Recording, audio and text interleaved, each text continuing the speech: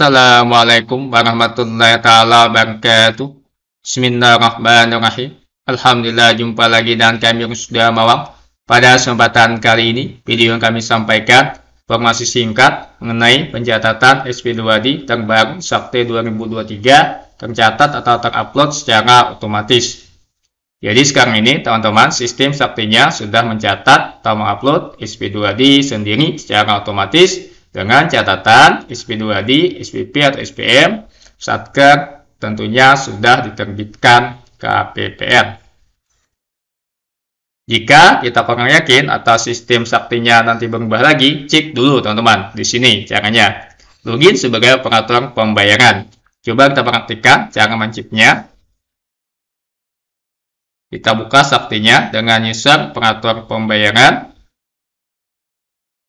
kita masuk ke pembayaran seperti biasa sebenarnya mencatat atau upload.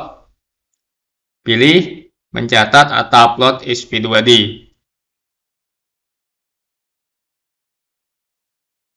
jika datanya di sini kosong teman-teman artinya semua SPP atau SPM sudah dicatat secara otomatis SP2D-nya atau sudah tercatat SP2D-nya untuk lebih meyakinkan teman-teman, kita cek lagi di menu monitoring, monitoring SPP.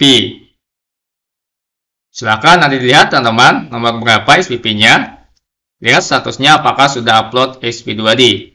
Jika statusnya upload SP2D ini berarti sudah terupload teman-teman SP2D-nya. Jadi sekali lagi kami ulangi sekarang ini untuk sakti tadi sudah mencatat atau mengupload SP2D secara otomatis. Artinya, Satker tidak perlu lagi melakukan catat atau upload SP2D. Mohon maaf jika ada salah atau kekurangannya. Semoga ada manfaatnya. Akhir kata, bila taufik. Wa Assalamualaikum warahmatullahi wabarakatuh.